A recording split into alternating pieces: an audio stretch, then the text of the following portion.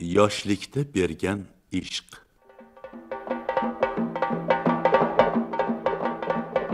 Ko'chalarni to'ldirgan odamlar sado kelayotgan tomonga qarab oqadi. Quvnoq yosh yalang tushgan izvoshlar ham saylgohga shoshadi. Hamma shod hamma hayajonda. Bugun farg'onadan kelgan katta hofizlar bilan toshkentliklar bellasharmish degan ovoza hammaning yuragini orziqtirardi.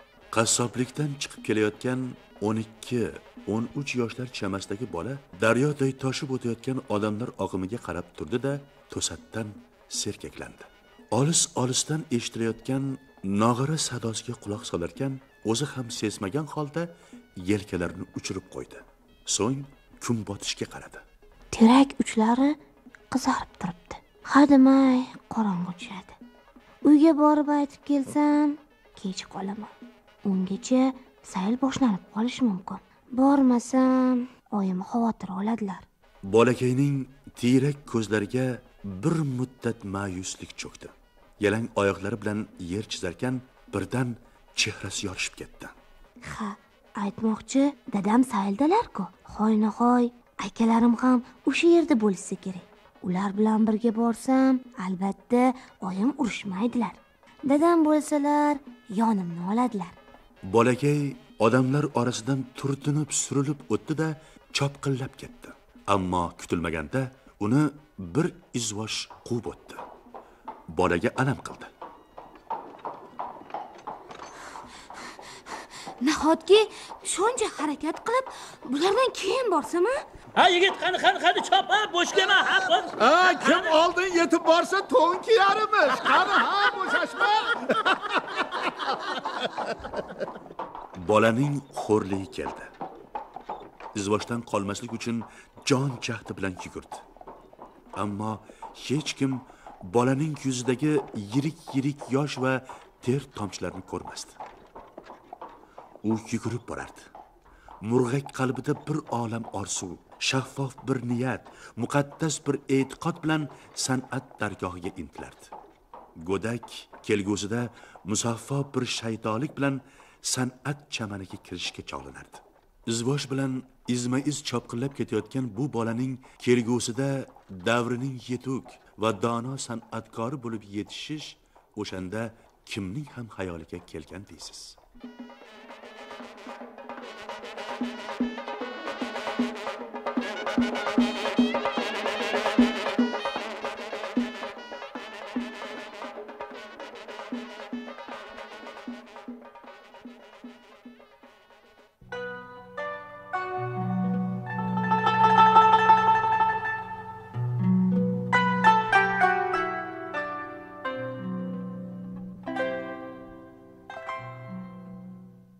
Sersadaf dutor.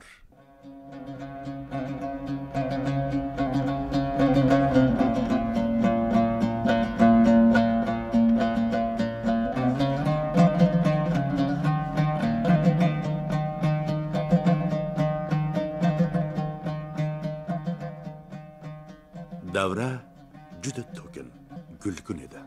Dutorning navosi xonandaning yoqimli ovozi ko'ngillarni sel qiladi. Asli andijonlik mashhur mirzo qosim hofiz to'lib toshib qo'shiq aytmoqda. Poygakda o'tirgan bola qo'shiq ohangiga monand tebranadi. U o'z mahallalarida yashaydigan hofizning qo'lidagi sersadaf dutordan ko'zini uzmaydi. Mashshohning pardalarni qanday bosayotganini sezgirlik bilan kuzatadi. Ayni vaqtda shunday dutor olish orzusi yuragini qitiqlaydi. Ertasiga ot qilini taxtachaga tortib tingillatib o'tirganda tog'asi eshikdan kirib keldi tog'ajon Labbay. qarang o'zim dutorcha yasab oldim O, bajiyani. Endi sizdan eshitaverar ekan bizda. a? Bo'lmasa men senga rostakam dutor olib beray. tog'a o'sha kuniyoq kichkina dutorcha olib kelib berdi shu kundan boshlab rajab qassobning uyida tun yarimdan oqquncha rizqi akasining tamburiga yunusning dutor sadosi ham jo'r bo'la boshladi. Hali juda yosh yunus sayrlarda eshitgan xotirasiga o'rnashib qolgan kuylarni chalib o'rganishga urinardi. Bir kuni ko'chadan horib kelib dutorni chertib o'tirgan yunus joyida uxlab qolib tush ko'ribdi.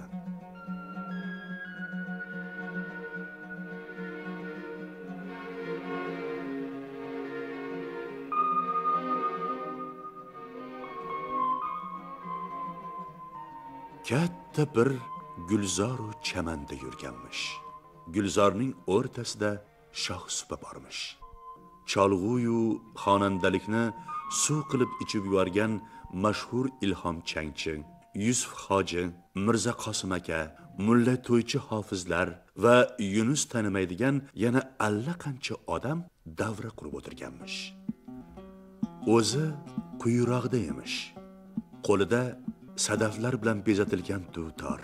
Hamma uning mashqiga muntazirmish. Nihoyat uyala uyala boshlabdi.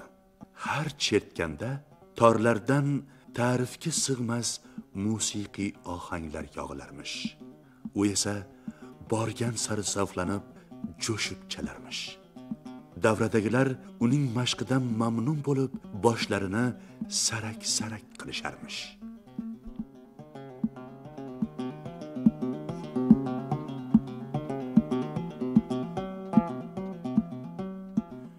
Yunus cho'chib uyg'ondi. Uyg'ondi-yu ishonqiramay bir necha bor ko'zlarini ochib yumdi. Qarshisida hozirgina tushida ko'rgan dutorni ushlab shukrakasi turardi.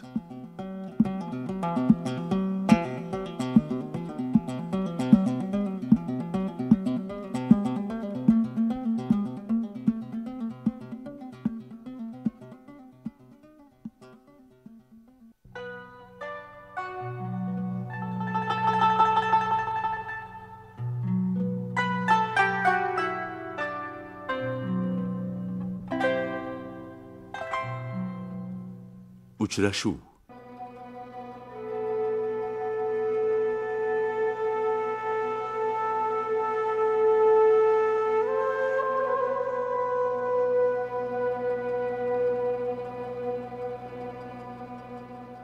U otasidan ayrildi.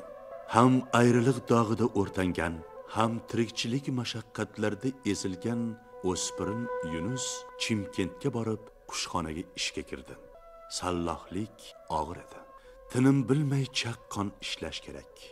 Shoshilganidan ba'zan qo'lini kesib oladi jarohatlangan barmog'iga darhol qo'y o'tini kiyib supurgi dastasini ushlab ko'radi.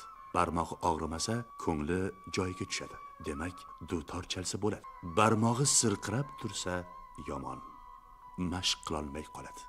Chimkentda yurgan kezlarda u abduqodir naychin sultonxon tamburchi qurbonxon g'ijjakchi imomxon naychi kabi sozandalar bilan tanishdi. Shu davrada yurib nay chalishni o'rgandi. Bir kuni choyxonada mis nay chalib o'tirganini ko'rib abduqodir naychi miyig'ida kulib qo'ydi. Ko'p o'tmay farg'onadan g'arov nay olib kelib berdi. Mana chalib yurgan yunusvoy nay yurakning oshnosi u yunusga nay chalish usullarini o'rgata boshladi abduqodir naychi bir gapni ko'p takrorlardi. Nafasni tejang nafasni. Oz nafas bilan chalishni o'rganing. Katta nafas avjga chiqqanda kerak.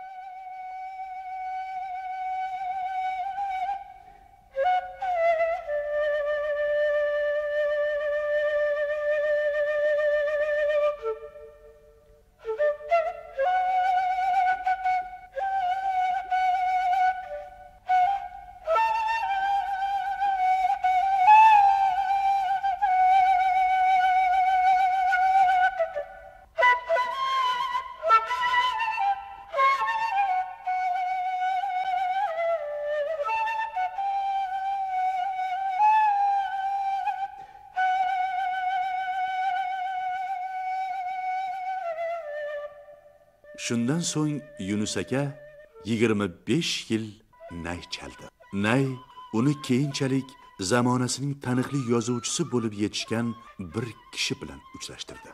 Bundan ancha yil muqaddam andijon saylgohlaridan biriga odam sig'may ketdi.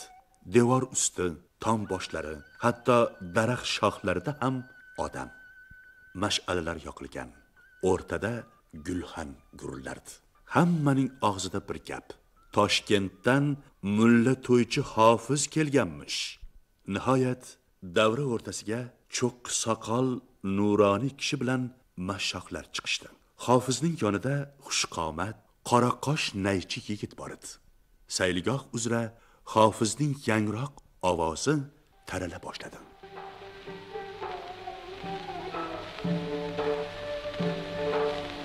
كن جارا يومي سما ليلة أبركنا فيها ليلة قومتي زليل صلى ليلة nayning sehrli ohangi qo'shiqqa payvasta bo'lib ohista qanot qoqar. Qalb tubida cho'kib yotgan totli xotiralarni siypalab uyg'otardi haloyiq to'ychi hofiz bilan naychi yunus rajabiy san'atiga sehrlanib o'tirardi bu ikki san'atkorni hamma tanirdi. Lekin yunus rajabiy shu davrada bo'lg'usi adib va dramaturg komil yashin ham borligini bilmasdi. Bu ikki san'atkorning ilk uchrashuvi shu kuni yuz berdi. Ikkinchi safar ular biri yetuk san'atkor biri zabardast qalamkash bo'lib uchrashdilar. Komil yashinning respublikamiz musiqali drama teatrlarida sahnalashtirilgan asarlariga yunus rajabiy kuy bastaladi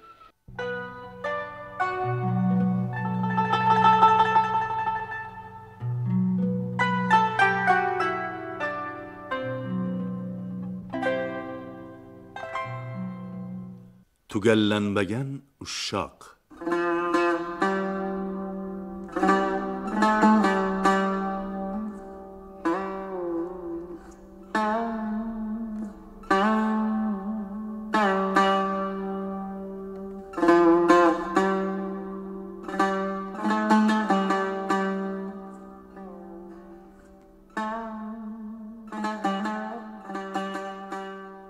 radio diktori chalg'uvchilarga tayyormisizlar? degandek bir qarab qo'ygach efirga e'lon qilib yubordi. Yunus rajabiyning jon holat bilan qo'l siltaganini payqamay qoldi. Endi mulla to'ychi toshmuhammedov ijrosida ushshoqni eshitasiz. Yunus rajabiy nima qilishini bilmay bir nafas garangsib turdi. To'ychi hofiz yo'q edi. Endi nima qilish kerak? Ushshoq aytilmasa xalq taajjublanadi. Bu qanday bo'ldi? Tavba. Yunus rajabiy qo'lini havolatib cholg'uvchilarga ishora qildi. Tavakkal qilib o'rtaga chiqdi. Diktor hayratlanib ko'zlarini chaqchaytirdi. Xuddi suvsiz qolgan baliqday og'zini kapa kapa ochdiyu ovozi chiqmadi. Yunus rajabiy unga xotirjam bo'l degandek bosh irg'ib qo'ydi. O'ttizinchi yillarda qo'shiqlar hali lentaga yozilmay bevosita mikrofondan eshittirilardi yunus rajabiy shoshilmay mikrofon oldiga keldi. Negadir bo'yini cho'zib yutindi. So'ng ikki kaftini bir biriga juftlashtirib kuyga quloq sola boshladi. U to'ychi hofiz bilan ko'p birga bo'lgan qo'shiq aytish usullarini yaxshi biladi. Hatto birga aytishgan ham. Kuy ohista pastladi. Childirma so'nggi marta takatumlab qo'ydi. Yunus rajabiy sal titroq lekin to'la ovoz bilan qo'shiq boshladi. Qora ko'zim kelim merdim. Kara kuzum kelim merdim. Nugendi ben kıyım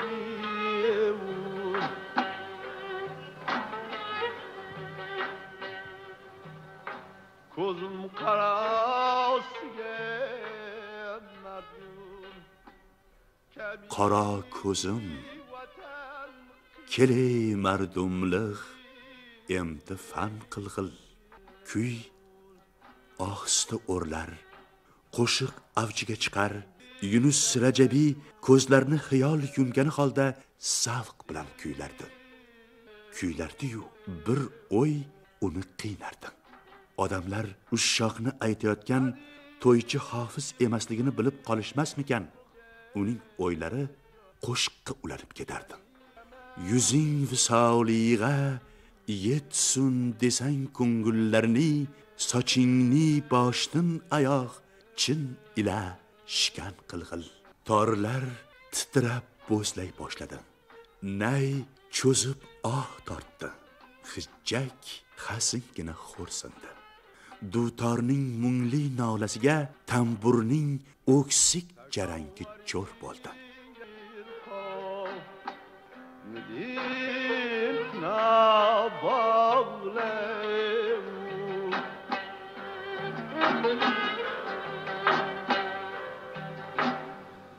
İçin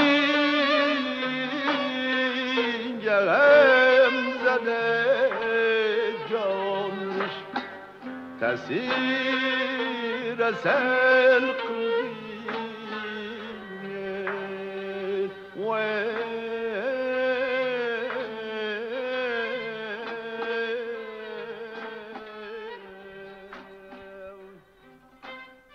payt xonaga oyoq uchida yurib to'ychi hofiz kirib keldi. U xuddi hech narsa bo'lmagandek shogirdining yoniga borib, qo'shig'ini kelgan choydan ulab ketdi. Yunus Rajabiy sirg'alib davradan chiqdida mashshohlarga boshchilik qila boshladi. Shu shu Yunus Rajabiy ustozining qo'shiqlarini aytaveradigan bo'ldi. Hali-hali odamlar ustoz shogird ijro etgan qo'shiqlarini bir-biridan ajrata olmaydilar. Yunus Rajabiy to'ychi hofizning ijrochilik usullarini shu qadar puxta o'rganib olgan edi.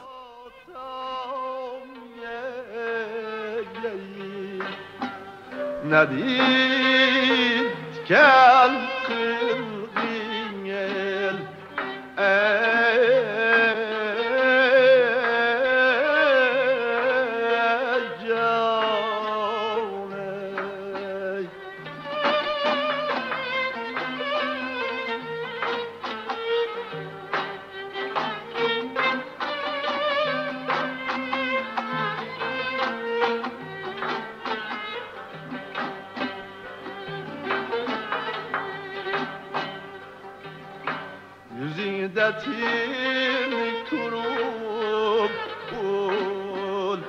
Amin.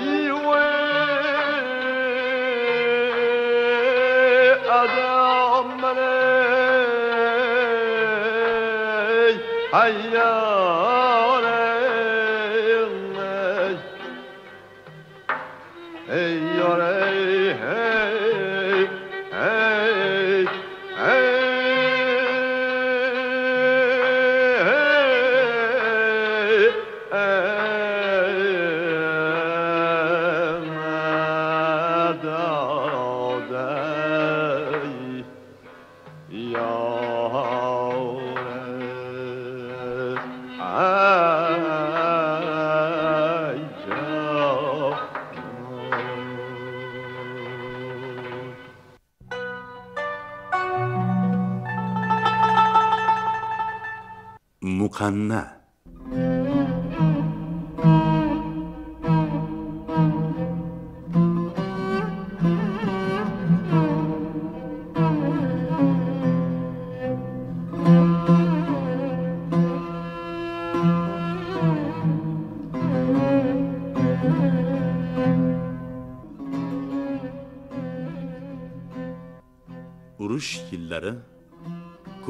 san'atkorlar qatori yunus aka ham yangi yo'lda turardi.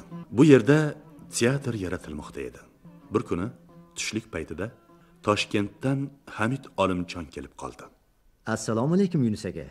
Ey hamijon salomatmisiz? yaxshi yuribsizmi bardam baquvvatgina. Rahmat rahmat. Domlajon sizga shu mana bunday bir pyesa yozib bersam kuy bastalamaysizmi e bo'pti. Bastalaganda qandoq? Qani pyesani cho'zing bo'lmasa ana xolos. A, bunaqa shoshiltirmangda domla. Shu tarixga murojaat qilmoqchiman. Muqanna haqida yozish niyati tug'ilib qoldi. Juda ko'p hujjatlarni ko'rib chiqdim. Hayajonim ichimga sig'may ketyapti domla. Bir yozay shunday buyuk siymoni yetishtirgan xalqimiz o'z farzandini sahnada ham ko'rib faxrlansin. Chindan ham oradan ko'p o'tmay hamid olimjon ehtiros bilan yozilgan muqanna pyesasini olib keldi.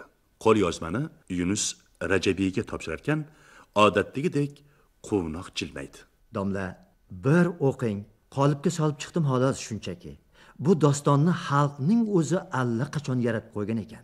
Yunus rajabiy qo'lyozmani varaqlarkan xuddi o'zi bilan o'zi so'zlashayotgandek gapirardi. Hamidjon labay kuyga solish og'irroq bo'ladi shekilli. Shuning uchun ham sizga olib keldim-da domla hozir asarni o'qimay turib ham kuy yozaveradiganlar ko'payib ketganu. Mazmunni chala chulpa eshitib olishsa bas. Ha hamidjon. Labay. Ha, endi bastakorlarni o'rtasida ham to'g'ri bo'larku bunaqa siz aytganlari ham. Ha. Lekin bastakorlarni bunaqa so'kavermang gapingiz mani ham tomorqamga tosh bo'lib tushadi. Hamid olimjon oradan bir oy o'tkazib kelganida yunus rajabiy uni to'ppa to'g'ri o'z xonasiga boshlab kirdi anchagacha ichkaridan goh pianinada goh dutorda goh nayda ijro etilgan ohanglar taralib turardi. Keyin hamid olimjonning xushchaqchaq ovozi eshitildi. Ha yashasin akangning doblasi ko'p o'tmay yangiyo'ldagi toshkent viloyati musiqali drama va komediya teatrida bu ikki san'atkorning yangi asari sahnaga chiqdi. Muqanna ularga so'nmas shuhrat keltirdi.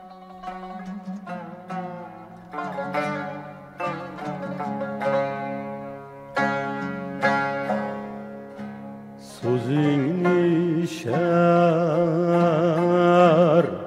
pasitikken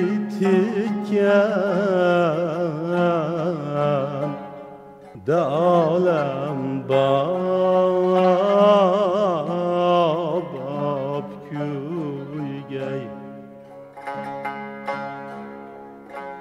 سوزیم نشار پسی تکن دالم با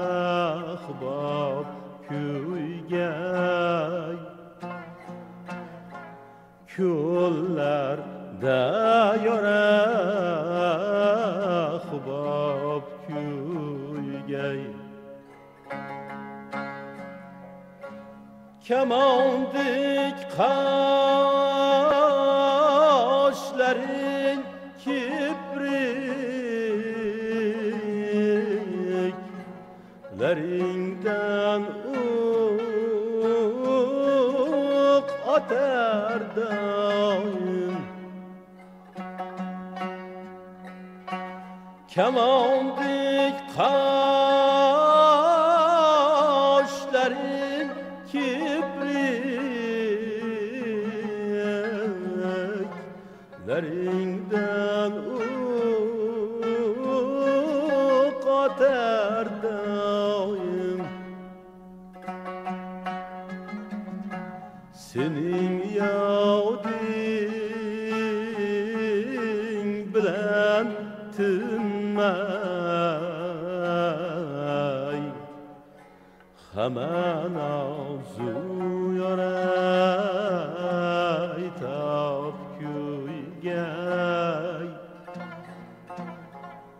Aman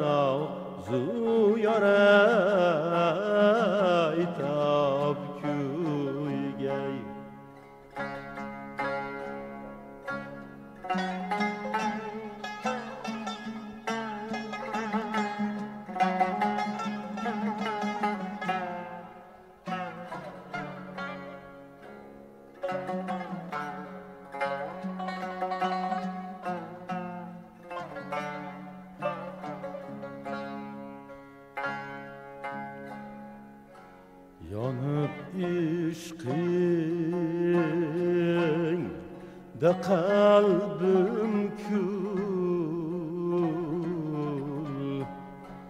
Geylense yoracak yermez Yanıp işkin de kalbim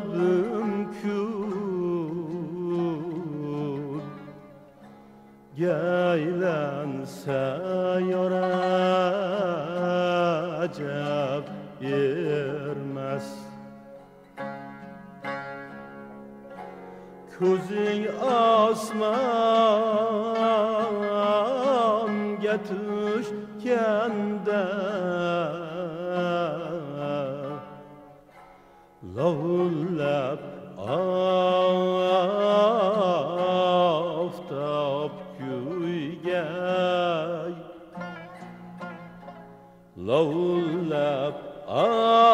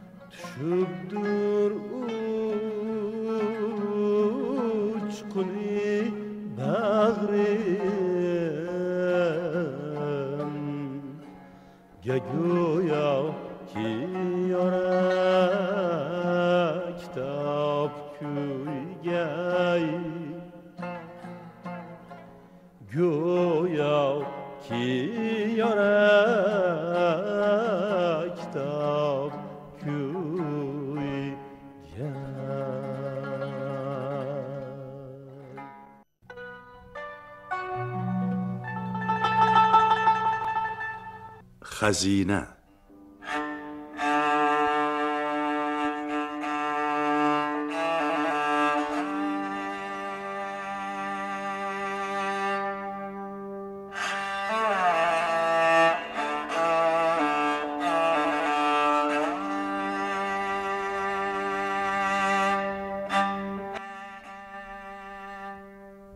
yunus aka xazina bu odamning yuragiga o'zbekning hamma musiqasi jo bo'lib ketgan. Yunus akani o'zbek musiqasining qomusi desa bo'ladi.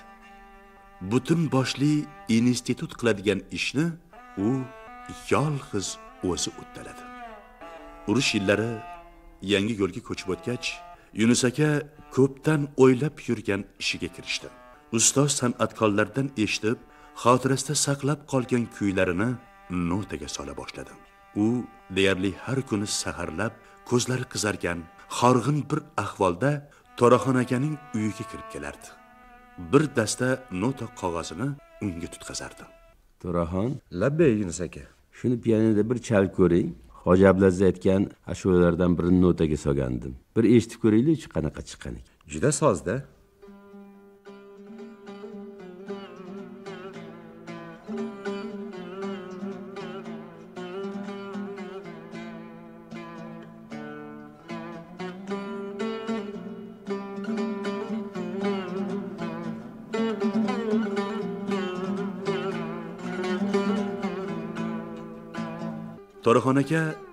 zavq bilan chalar yunus aka esa qoshlarini chimirgancha berilib tinglardi. Goho to'satdan o'rnidan turib ketar kuyning ayrim joylarini tuzatib yana eshitishga tutinardi. Shu saylda ko'ngil tubida ko'z qorachig'iday avaylab yurilgan talay kuylar notaga olindi. Bir necha yil davomida ularning soni yuzdan ortib ketdi. Yunus rajabiy hoji abdulaziz to'ychi hofiz shorahim aka kabi ko'pgina san'atkorlar ijro etgan xalq qo'shiqlarini bir biriga solishtirar eng yaxshi tomonlarini umumlashtirib mukammal holda notaga solardi. Farg'ona buxoro samarqand toshkentning ijro usullari bir biridan farq qilar. Xalq kuylarini yaxlitlashtirib mushtarak bir holga keltirish lozim edi. Bu mushkul ishga hali hech kim jazm etmagan. Yunus aka shu xayrli ishning boshlovchisi bo'ldi. Urushdan keyin yunus aka bu ishga yanada jiddiyroq kirishdi. Bir kuni qilayotgan ishi xususida to'raxon mirzayev bilan gaplashib qoldi. U paytlarda to'raxon aka nashriyotning san'at bo'limida muharrir bo'lib ishlardi. Yunus aka ov notaga tushirgan kuylaringizni olib kelsangiz. Kitob qilib chiqarsak nima deysiz? O ja yaxshi ish bo'lardiyu to'rajon kuylarni o'rni o'rni bilan tartibga solish kerakda. Endi o'zim yolg'izlik qilib qolyapmanda. Qarashadigan odam yo'q. Siz oldin tayyorlarni menga keltirib bering. Planga kiritaylik. Keyin birgalashib ishlayveramiz bu fikr yunus rajabiyga ma'qul tushdi. Shu gapdan keyin u o'n kunga qolmay bir dasta kuy yozilgan nota qog'ozlarni ko'tarib kirib keldi. To'raxon aka bir necha kun muk tushib ikki yuz qirq ikkita kuyni ajratib oldi. Hamkasbi shoir turab to'la bilan hamkorlikda qo'shiq tekstlarini ko'rib chiqishdi. Shundan so'ng qancha tortishuv qancha mashaqqat bilan birinchi kitobni chiqarishdi. O'zbek xalq musiqasi majmuasi ana shu tahlidda dunyoga kelgan. O'zbek musiqasiga abadiyat muhri bosildi.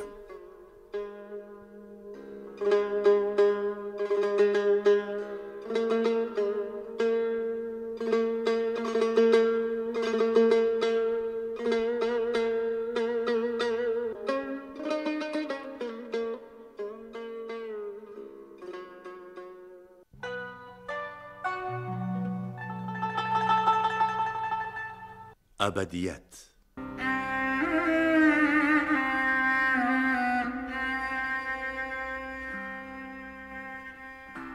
akademik yunus rajabiyga shashmaqomning olti jildligini to'plab chop ettirgani uchun respublika davlat mukofoti berildi shu munosabat bilan qutlagani borsam yunus rajabiy endigina ko'chadan kelib dam olishga chog'lanib turgan ekanlar. Meni ko'rib juda quvonib ketdilar. Ularning ruhlari tetik vaqtlari chog' bo'lsa ham bir qarashda alb qomatlari bir muncha cho'kkandek.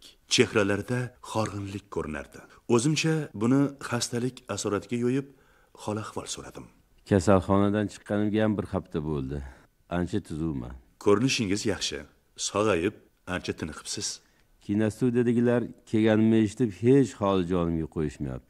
Ertalab chiqib ketganimcha hozir kelib turganim xabaringiz bordir mani kinoga olishyotgandi ko'kaldosh madrasasi navoiy muzeyi radio komitetni oldida suratga olishdi. Qarib qolmanmi deyman charchadim. Hali baquvvatsiz domla. Sizga o'xshagan ukalarim hamisha yoshsiz deyishadi.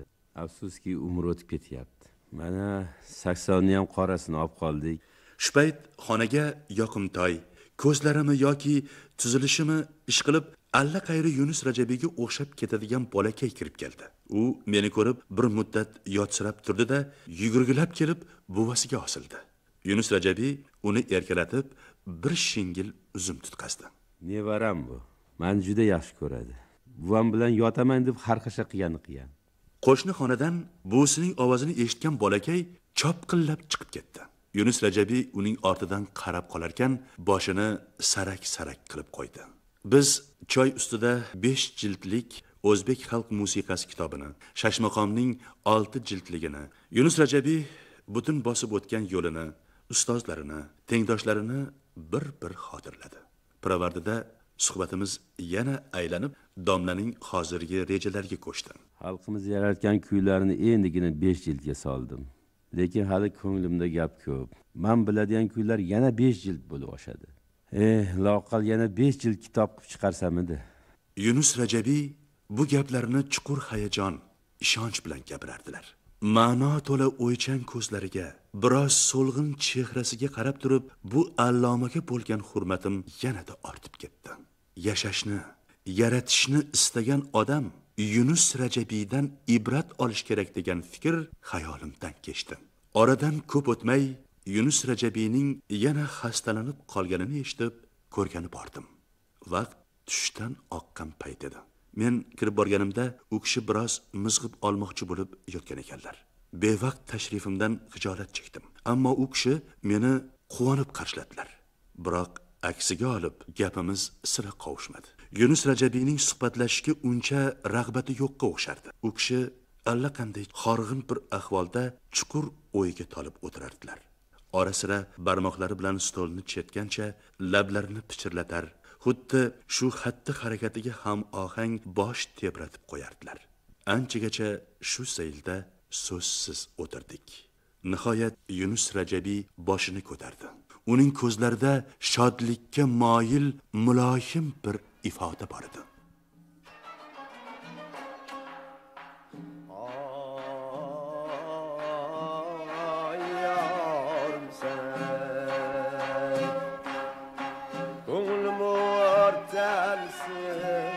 eğer gayrige ferva eylesen Her kulun ham kim sening shavqingni paydo aylasan maqom necha asrlardan beri yashab kelayotganining sababi nimada deb o'ylaysiz? Manimcha klassik kuylarimizning ham sodda hamda murakkab shu bilan birga hammaga tushunarliligida. Bundan tashqari astoydil quloq solgan kishini ko'nglini yumshatib oliy himmat qilib yuboradi. Mana eshitingga manam sho'rida bulbul bo'stonidin adashganman. Yuzi gul qomati bu biroz shikast. Nozik tuyg'ularni allalovchi ko'ngillarga orom baxsh etuvchi chindan ham kishini oliyjanoblikka ezgulikka da'vat etuvchi qo'shiq edi. Uni tinglarkan odam asta sekin yuksaklikka ko'tarilayotgandek allaqanday sirli sehrli olamga borib qolgandek tuyuladi. Bu olamda yurakni qitig'lovchi sezgilarga huzur bag'ishlovchi ohang insonning mardligi sadoqati fidoyiligi haqida ehtirosli qo'shiq bor edi. Men yunus rajabiyni kuzatganimcha xayolimdan o'tkazdim.